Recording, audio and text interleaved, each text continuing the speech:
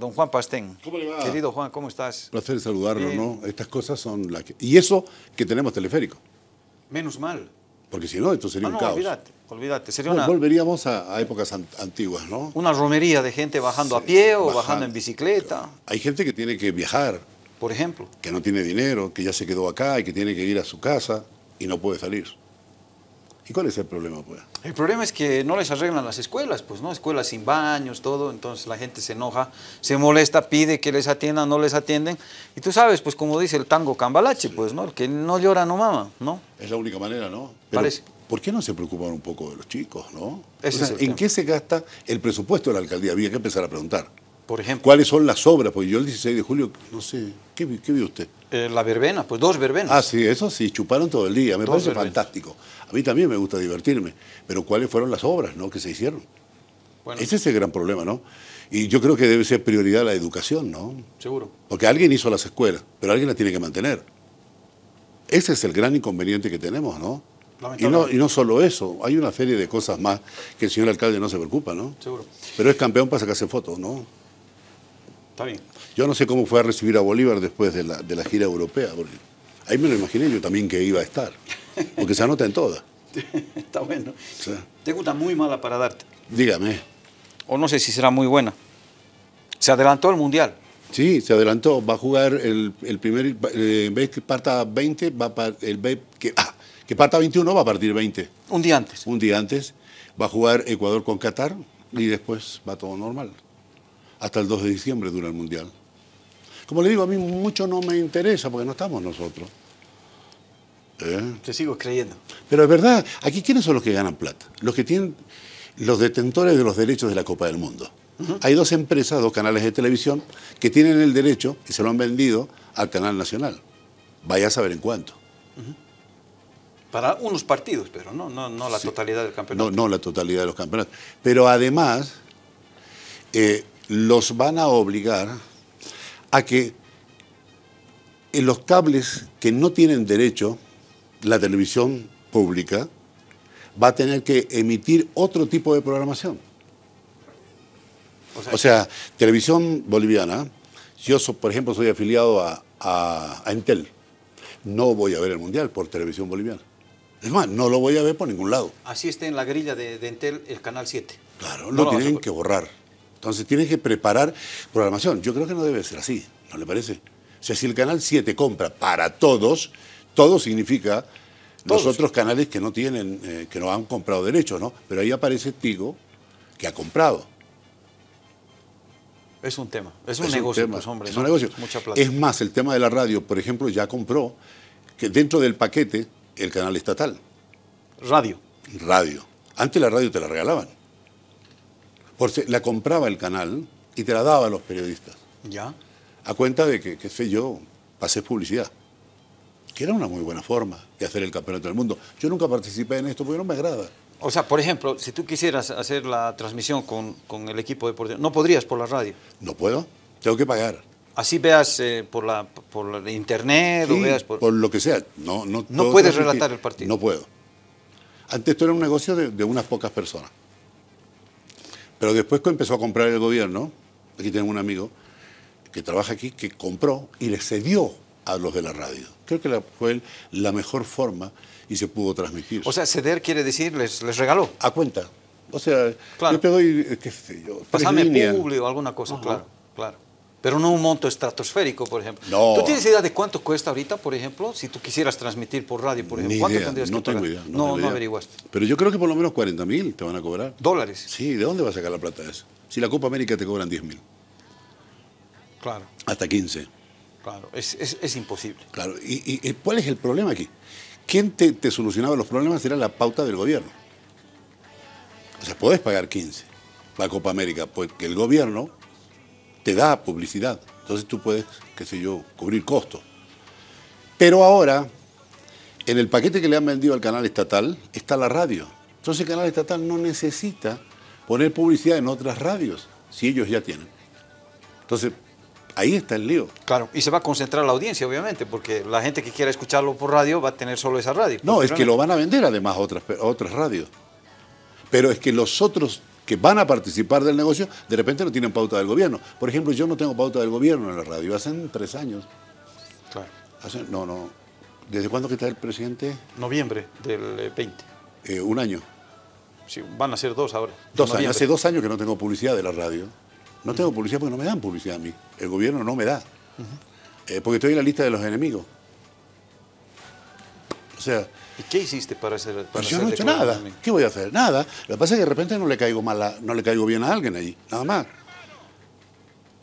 Y, y no hay. Y, Y, no si, no hay. es, si no es por esa vía, no hay. Empresa privada, Hay, microempresa, hay, hay, empresa. hay empresa privada, ¿cierto? Pero que no, no alcanzás No a cubrir los costos para ese evento. De acuerdo. Después te podés, eh, Te podés manejar. fútbol nacional, etcétera, Sí, sí, ese tipo de cosas. Mientras no cobren eso también, porque algún rato a alguien se le ocurrió decir, che, y si cobramos para que transmitan, ¿te acuerdas, no? Que hubo Sí, una- sí, un sí, intento. ¿no? Pero no, aquí yo creo que eh, eh, la tiene clara que no se puede cobrar, porque no hay capacidad económica, ¿no? claro. Esto alcanza para que coma.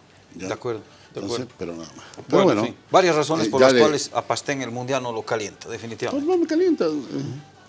Por ejemplo, la Copa América yo transmití, porque me la regalaron.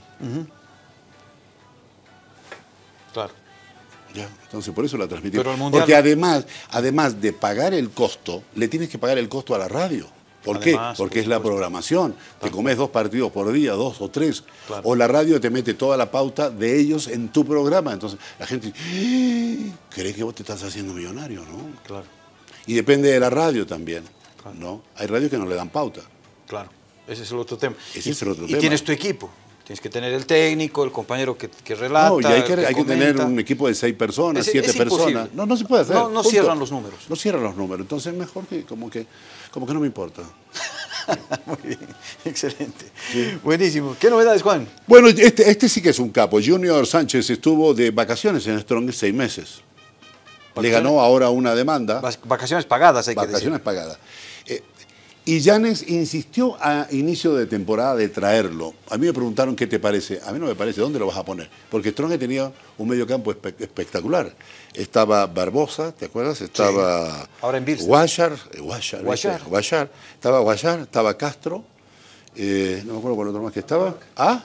Ramiro Vaca. Ramiro Vaca. Entonces vos tenías cuatro o cinco eh, volantes, tenías un muy buen equipo. Entonces traerlo a este pasador no, no vale la pena.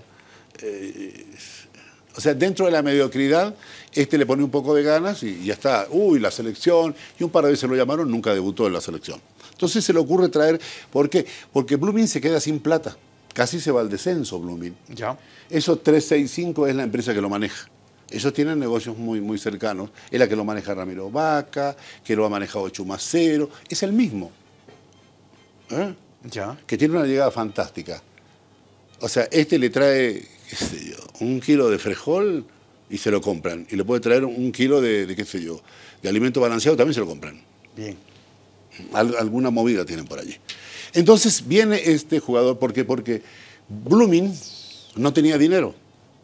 Entonces los jugadores se declararon libres. O sea, estos próceres de la patria, este señor y otros más, dejaron abandonado a Blooming, que casi se va a segunda división. Y ahora volvieron a Blooming de nuevo. Vuelven, hijo pródigo, a casa. O sea, yo, yo, si yo soy bluminista, a este cuerdo no lo saludo más, ¿o no?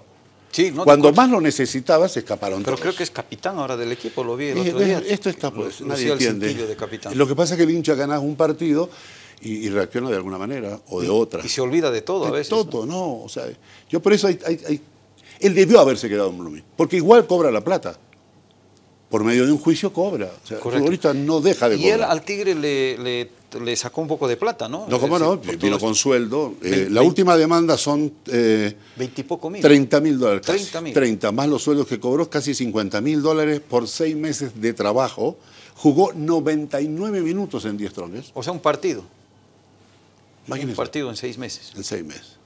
Y se llevó Casi 50 mil 50 dólares. dólares. Casi 10 mil al mes. Imagínese usted. Buen negocio. Es buen negocio, ¿no? Ahora el Tigre debe pagar 110 mil dólares al uruguayo Melasi. Que a ese sí que ni lo conocemos, ¿no? Nunca lo vimos, pero se firmó un contrato, un precontrato con él para que venga aquí al país. Ahí está. ¿eh? ¿Cuál el, es Melasi? el ilegal firmó su amigo. Ah, perdón. Esas son dentro de las cosas que, que hizo ese es un daño económico a la institución y nadie dice absolutamente nada, ¿no? ¿Nadie dice nada o están viendo de decir algo y hacer algo? No, ¿qué van a hacer? Esto es un alcahueterío. El que está allí lo tiene que alcahuetear el otro, ¿no? Porque el que venga lo va a alcahuetear al actual. Pero es lógico, es normal. A ver, alguien va a salir. a- Se está contratando una empresa para que, para que haga una auditoría. Sí. Entonces, ¿cuándo, ¿cuándo la van a contratar? Hasta eso por ahí Strong que sale campeón y se olvidan todos. Claro. Todos felices. Además, ¿a quién le interesa una auditoría? Pero ¿para qué, hombre? ¿No? Ahora hay que pagar sueldo. No sé, ahí está. Parte de- del contrato del jugador. ¿Cómo le vas a firmar un, un- pr- Primero, no entiendo. O sea, un tipo, en cualquier parte del mundo, ahí está secretario y el presidente. Ahí está Palma, que es el policía, que después se dio la vuelta, ya, y firmando el contrato. Leonardo Sebastián Melasi Pinel. Claro. Ahora, yo, yo le pregunto a usted, ¿cómo usted le va a hacer un contrato a un tipo que ni siquiera lo conoce? O sea, yo le digo, venga, no hay problema. Pero primero tengo que hacer la revisión de las cañuelas, ¿no? Para empezar. De repente el tipo tiene presión alta y, y no puede jugar aquí. Claro, claro. ¿eh? O de repente cualquier cosa. Es lo mismo cuando usted compra un avión. El avión tiene que tener las características para que baje aquí. Pero ese es un tema. El otro tema es, porque uno puede estar muy sano, pero no agarrar una, digamos, También. jugando al fútbol, ¿no? ¿Cierto? O sea, pasar la revisión médica, como dirían en Argentina, la revisación, ¿no es cierto? Sí. Y después ve, pues, si sabe patear la pelota, ¿no? Esa es otra cosa. Que tampoco se hizo. Tampoco se hizo. ¿Cómo va- a hacer eso si ni siquiera vinieron por acá? Es como cuando vas al puerto y te compras un fardo de ropa, ¿no? Y vale 100 dólares ese fardo, y vos te llevas el fardo. Lo que te ¿Quién tocó, te abra ahí tocó. adentro? Vaya uno a ¿Se acuerda el caso de Estafusa? Hace muchos años. perdón. Claro, Estafusa lo descubrieron. Claro, en el Yo diario. tengo el recorte, lo voy a traer Diario. mañana. Eh, eh, resulta que ese futbolista vino y dijo que era Estafusa. El que jugaba en Boca. Y que jugaba en lo Boca. tengo entonces, presente. Pero por lo menos buscate una foto. Tú, si tú estabas en el diario En el diario. tiempo. Lo sacaron ustedes, lo tengo. No, me acuerdo, está el diario última hora. No, lo el diario, el diario, el diario. Entonces, ¿qué es lo que pasa? Estafusa. No, pues este no es. Claro. Pusieron unas fotos del gráfico. Donde, Imagínese. además, el tipo tenía un problema en los ojos, Sí. era un fraude completo. Pero así lo hacían antes. Pero ya está bien, antes no había tanto de cómo darse cuenta, percatarse si el futbolista era o no era. Pero hoy en día no, no te puede tumbar.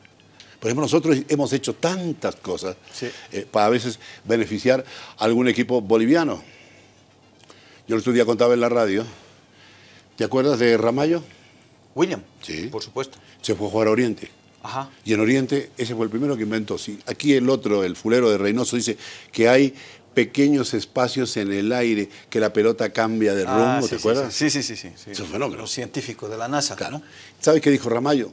Que la cancha, o sea, eso de la cancha, que la cancha está mal, eso no es de ahora, es de- viene de tiempos inmemoriales. Salió a decir Ramallo, Desde era el hay 9 cojos, de Oriente. Desde claro, que hay cojos, ¿no? Claro. Que le echan la culpa al empedrado. al empedrado. Entonces salió a decir él que él no podía hacer goles porque la cancha, la pelota le boteaba raro. Bueno, entonces en Oriente había un problema de plata. Entonces Sergio Echazú, que era muy amigo mío, me dice, Juancho, ¿qué hacemos con este? Me dice, ¿cómo que hacemos? Vendelo. Bolívar lo quería. Sí, pero Bolívar quería dar 50 lucas, me- 40 lucas. ¿Qué hacemos? Y digamos que lo estamos vendiendo. Yo la hago, la nota, la mando, no tengo problema. Ya. Una polera necesitábamos. El chino del frente, porque él tenía el negocio de la cañoto, servía el pollo con una polera del Yokohama. Porque tú puedes comer un pollo ahí, ¿viste? Porque el frente era su negocio. Yo le digo, mira la polera. ¿El chino es tu amigo? Sí, háblale.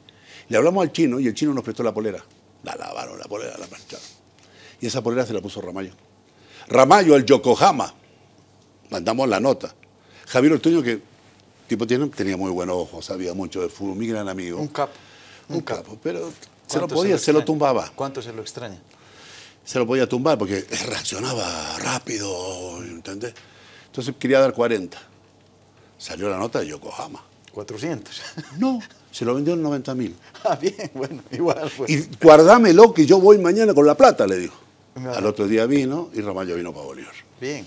Pues si no, eran 40 mil, que en ese tiempo 40 mil Era un montón de te plata. alcanzaba a comprarte un, un departamento de tres dormitorios, ¿no? Sí. Entonces, esto del verso, después hicimos otra con, ¿te acordás del muñeco Gotardi, el ¿Cómo flaco? Jefferson. Jefferson, Que se iba al. Sporting Cristal. Murió, ¿no? Murió se murió, muchacho, estaba enfermo. hijo del, del gran... De Gotardi, sí. del el gran gran. Gotardi, que también jugó en Oriente, por supuesto, Sí, su padre. Como no, un extraordinario. Matagoleiro le puse yo a. Matagoleiro. La gente decía, ¿por qué Matagoleiro? Y, "Eh, Matagoleiro, está. Y resulta que eh, pensaban que, que era porque mataba a los arqueros. No, porque los mataba pero a pelotazo, pero no les podía hacer los goles. Por eso era Matagoleiro. Tremendo. Y después, bueno, quedó otro con esta chapa por allí. ¿Y qué pasó con Gotardi? Cotari también. Que O se sea, lo quería Bolívar, Ya. pero no quería pagar.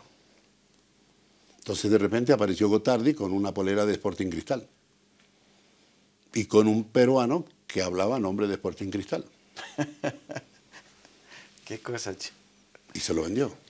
Entonces. Pero oye, por eso que estos vendehumos de ahora, creen que la saben todas. Eh, es- ay, mira lo que vamos a hacer. Si hace 20 años que la hacíamos, 35, 20, 25 años. Está Además, todo inventado en- aquí. en lo único que cambia son los matices. Claro. Además, en una época en la que no había, no había redes sociales, no, No había internet. Ahora entras y googleas a alguien y te sale, pero toda la historia. Y no tiene ningún problema, Así ¿no? nomás. Ahí está justamente, mira la foto de, de Jefferson. No, ese es Ramallo. No. No, Ramallo. Jefferson es Ramallo. un chocazo grandote. Ay, tienes razón, tienes Ramallo. razón. Así era y estaba Ramallo, con el, con el. Camba Molina. El Camba Molina. Molina. O sea, es un fenómeno. Ese era un fenómeno. ¿Vos sabés que ese River lo quiso? Ese es el equipo que perdió 2-1 con River. Qué lindo equipo, Le hizo ¿no? un golazo, este a comiso en la cancha de River. ¿Y te acordás del empate 0-0 Claro, con Boca? lo recuerdo. Esto. Che, el de la izquierda arriba, saca el sellito de Aviala un segundo. Es Gutiérrez, ¿no? Que jugó en Sí, San que, José. fue- que ahora anda por allí de un zaguero técnico. central, ¿no? Un zaguero Anda de central. técnico. ¿Y el. Morocho? ¿Quién es el Morocho? A él no lo recuerdo. ¿Quién es el Morocho? Ah, el el que está ese más... brasileño. Yo, yo no me acuerdo de eso, pero yo le, le eché el. Claro, es Pinedo es el que está al lado del, Sí, Pinedo. Pinedo, y bueno, está Darío, ¿no? El Sergio arquero. Rivero, el otro Sergio es Darío Rivero, Rojas. Exactamente. Y Taqueo, ¿no? Es el que está ahí, Sí, por la izquierda está eh, Taqueo. que está más levantadito, digamos, Sí. no está tan agachado. Ahí está. Ahí está. Hay algunos que no, no. Es Pinedo, está claro. Yo a ese le puse el tordo. ¿A cuál? A ese el moreno. Yo le eché de chapa el tordo brasileño. ¿Ah, sí? Igualito que el tordo, caminaba igual, todo. Mira. Las, plata- Eh, las patas flacas Y el que sabemos, y el ¿ya? que sabemos gordo. Y ahí está Darío, abajo está Taqueo, ahí está Pepe Lucho Medrano, un fenómeno. Después terminó en Real Santa Cruz, aquí le hizo un gol a Strong, que lo llevó- perdón, sí que lo llevó a Real, a los Leones, a la Copa Sudamericana. Correcto. Modesto Molina. Modesto, el campo. Modesto, Molina. el Campo Molina. Tremendo Hizo un golazo a comiso. La gente Sí. preguntaba en Argentina, y este es un fenómeno, pero mira, ah, qué golazo. Pero no faltan, pues, los metiches, periodistas. ¿Qué pasó? No, ¿cómo? Si debe estar enfermo este que hizo ese gol. Ahí me preguntaron qué tal. No, es bueno, es re bueno, le dije. Pero claro, si los argentinos viven tumbando a nosotros, lo mandan cada paquete, ¿por qué no podíamos venderle alguno? Por eso yo a los de Orwell yo los, los admiraba, Ah. porque se lo vendieron, ¿te acordás el grandote Pala, ¿cómo se llamaba? Se lo vendieron a River, ¿te acordás? Bueno, que jugaba en Orwell Ready. ¿Panicelli? Panicelli. Germán Panicelli. Sí, se lo, lo tumbaron a River, ¿te acuerdas? Me acuerdo. 150 mil dólares. No jugó nunca el tipo. River. Este, Es bueno. Aquí la descosía. ¿Qué más? Pero vamos al tema, eh, eh, ya, ya me comí el tiempo. Eh, el fracaso de los torneos Copa Bolivia y Supercopa. Hay un, a inicio de torneo, cuatro torneos. La federación se quedó esta temporada sin sus dos torneos que iban a ser inéditos. Después que el primero suspendió la Copa Bolivia, el año se reduce a los certámenes de apertura y clausura de la división profesional. Claro, es lógico, consecuencia lógica, pues, ¿no? Porque esta Supercopa era que era la final entre el ganador de la Liga y el de la Copa Bolivia. Sí, señor. Al no haber Copa Claro. Bolivia, ya está, se cayó. B. La Federación Boliviana dejó sin efecto la realización de la Supercopa, como ya había ocurrido con la Copa Bolivia. La Supercopa estaba programada, lo que tú dices, entre el ganador de cuatro equipos, los campeones de la apertura y clausura, el vencedor de la Copa Bolivia y el mejor ubicado en la tabla acumulada del año. Sin embargo, el descarte de la Copa Bolivia, debido a que los clubes de las asociaciones que tenían que enfrentarse con la de- división profesional no cumplieron los requisitos. Hay un tema con los premios. Había un millón de dólares que dijo Comebol que lo iban a repartir, Sí. lo van a tener que repartir con el ganador del primer torneo y el del segundo. O sea, Bolívar tiene 500 mil dólares. Cuando salen estos, porque eh, había uno, el bailador, la chapa que le pusimos, porque baila en el caporal, baila caporal. Entonces se le ocurrió hacer esto. Revisamos, el año tiene 52 semanas, no tiene 150 semanas. Y Entonces- ustedes ya dijeron, esto no, no va a funcionar. Enemigos nosotros de ellos. Porque dijimos, no puede funcionar, porque no se puede hacer. O sea, hagamos, se hizo una Copa Bolivia, pero nadie sabía ni cómo se iba a jugar. Ahora ármenla este año para que la juguemos el próximo, ¿no le parece? Bueno, y se utilizó lo- el, el recurso más cercano, decir que los, que los equipos no tenían la documentación completa. Pero yo pregunto si hay equipos de la división profesional que no tienen la documentación completa. Esa fue la excusa para cerrarlo, el campeonato. Ahora la Simón Bolívar ya, ya comenzó. Hasta ahora no hay transmisión de fútbol de la Copa Simón Bolívar. No transmite la empresa encargada de hacerlo porque cada partido le cuesta 12 mil dólares. Entonces, mientras más se haga el loco y no transmita, pues mejor está. ¿Quién es? Ese- ¿Quién es el señor? Es el caporal. Ese fue el que armó el campeonato. Ese era el director de competiciones. Ajá. ¿De nombre? ¿Cómo se llamaba este? Ya- ya- ya- lo que pasa es que pasan... Ru- Adrián Monge. Adrián Monge. Esto pasan por el fútbol, se van, pues yo nunca más lo, lo- me recuerdo, ¿no? Y este, de ahí lo rajaron de la federación y se fue a la Asociación de Fútbol de La Paz. Sigue ahí mismo. Este fue el genio que lo diseñó. O sea, si esto es fácil, entra a internet, copiate cómo juegan en Perú, cómo juegan en Chile, se acabó. No vas a inventar la pólvora, Pero ¿no? lógico, pero acomodalo a, a- a nuestro fútbol, ¿no? Este es el, el inconveniente. Ese fue un fracaso. Ya está. Mira, el preparador físico de Orway se queja de la altura de la paz. Escucha y míralo. Te quiero mostrar. Si trabajas aquí, hacete el loco, ¿no?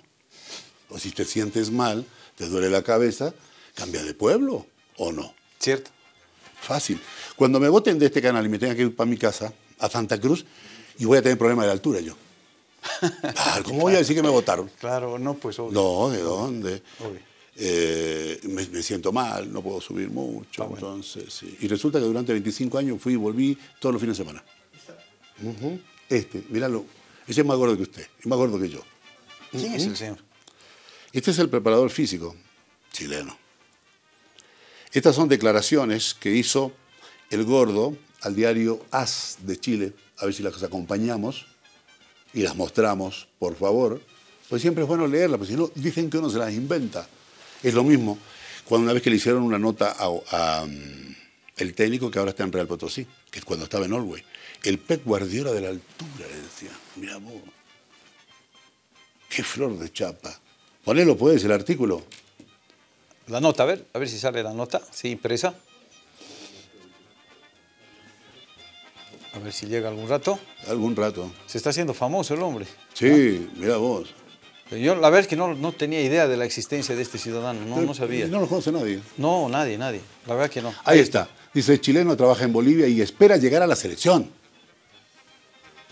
Ajá. Por el otro lado a la izquierda. Acá la vida es más viable, dice. El preparador físico nacional integra el staff de una recordada figura del fútbol altiplánico.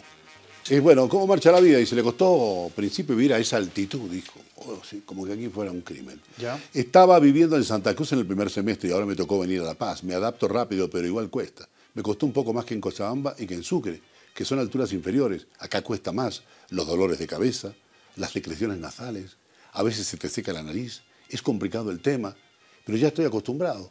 Lo mismo cuando subíamos al alto, hicimos una pretemporada un poco más abajo en La Paz, en un complejo deportivo que está a 3.300, pero cuando me tocaba subir al alto 4.100, sentía un poquito el malestar.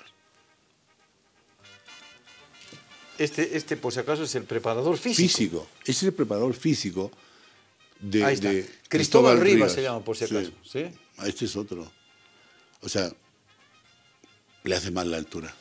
Y es el preparador físico, el gordito este. Pero ha pasado por Colo Colo, Iquique, Unión Española, no sé qué otros. Papel aguanta todo. Pues. Sí, ¿no? A ver, discúlpame. ¿Cuánto crees que gana un preparador físico en Colo Colo? Eh, ¿Qué será? ¿Unos 15 mil dólares? Cierto. Y si no gana más. ¿Cuánto crees que gana aquí? No, aquí el técnico puede ganar 25. Y el técnico le puede dar dos lucas. ¿no? De la plata de él le da. Entonces, si vos sos un fenómeno, a no ser que tengas problemas para trabajar allá, ¿no? Le debe hacer mal la bajura allá en Chile, por eso Y- se vino al Always. No, debe ser alérgico, Pues dejó- dejó al- Colo debe ser alérgico a los mariscos este. Claro, por eso dejó Colo Colo. Vos, claro. Y se vino aquí a comer pura carne. Después se va a dar, ¿cómo se llama la enfermedad esa que te da, que se te hincha el dedo? reumatismo. No, no, reumatismo artritis, otra cosa. Artritis. ¿Ah? Gota, gota, por gota. comer mucho, ¿viste? Claro, Eso. es verdad. Capaz que le dé. Mirá. Ahí está. Está el Mira, gordito. una Mirá vos. pinturita, una ya te digo. ¿mm? Una pinturita. Tiene más cuadril, ya te digo que. Que una, que una Orlando Argentina. Sí. En fin, ya está. En fin, ya está. Ya Eso era nomás para que comentarte Eh, algunas cosas. Bien, de nuestra polla. Creo que andamos bien. Sí. Ya hemos acertado dos. No sé, no sé, nosotros creo que no tan bien. Nosotros hemos, eh, habíamos dicho, Bilster Oriente Petrolero, Sí. Bilster Oriente Petrolero. Nos- Eh, nosotros ustedes- dijimos que ganaba Oriente. Ustedes dijeron que ganaba Bilster Oriente Petrolero. No, no, los dos dijimos local. No, Sí, yo no me acá está, no. acá está, Pastem. Ah, no, aquí comenzó mal la cosa. No, no, no, no. No, yo no, no, no, no, no. Aquí ustedes manipulan las cosas. No, jamás. ¿Cómo se te ocurre? ¿Cómo se te ocurre? Además, con el dolor de cabeza que me da trabajar en esta altura, mira si voy a tener Sí, tiempo para... yo tengo secreción nasal. Claro, se te das cuenta, o sea, olvídate. En fin, ya, ok. Eh, ¿Y el otro? el otro era Tomayapo Independiente. Tomayapo Independiente, ustedes dijeron local y nosotros también. Vete, ya, ya la acomodaste, ya no, o sea, no vas a perder nunca. Estamos bien. Oye, ¿hay fútbol? Sí, tenemos partido esta noche en Sí, La Paz, esta noche, 2015. 2015 y Bolívar hoy a la- Guavirá. Bolívar Guavirá, que dijiste tú a Y a las propósito. 3 de la tarde hay otro partido. Correcto. Dijiste Bolívar Guavirá. Ustedes dijeron visita. Sí. que gana Guavirá. Anotado, por favor, cuidado mañana me cuentes que sí, nosotros dijimos que va a ganar Bolívar. No, pero hay otro partido, tú lo dijiste bien, Palmarful Blooming. Sí. Ustedes dicen que Blooming, nosotros pusimos empate. Y tenemos otro más. Real Santa Cruz Strongest a las 3 de la tarde. Sí. ¿Transmites? Sí. Sí, por la radio. Por la radio. Buenísimo. Había Sí, ya la radio. Había ya la radio. Nos enganchamos a las 2 de la tarde. Bueno, nos enganchamos con el programa, termina a 2 y media y después vamos por el otro lado. Perfecto. ¿Y vas a transmitir Real Santa Cruz Strongest y Sí. luego Bolívar Guavirá? Sí, eh, Bolívar Guavirá a las 8 de la noche. Perfecto. O sea, doble función tienes hoy. Hoy, sí. Un matiné y una noche sería, ¿no? Faltó la Bermud. Tanda no, la, la Bermud. Eh, no vas la Bermud con Palmafor Blooming, ese no lo transmiten. No. No, por supuesto. Y es que no tiene mucho, la gente no, no es nuestro público. Correcto. Y Bolívar Blooming dijiste, eh, Bolívar Guavirá, perdón, dijiste visitante, nosotros local. Mañana nos estaremos viendo acá para ver qué, qué pasó, cómo acertamos. Mañana ya jueves. ¿Cómo Mañana pasó la semana, no? Qué impresionante, Impresionante. increíble, impresionante. Juan querido, gracias. Y a ver si te traigo algún otro chisme por allí. Te- por favor, son los, lo más interesante. Eh, voy a ver de traerte el recorte del diario. De esta fusa. Pues de estafazo. Estafazo. Increíble Qué ese momento, tiempo, ¿no? ¿no? Solo, solo en Bolivia una cosa así, ¿no?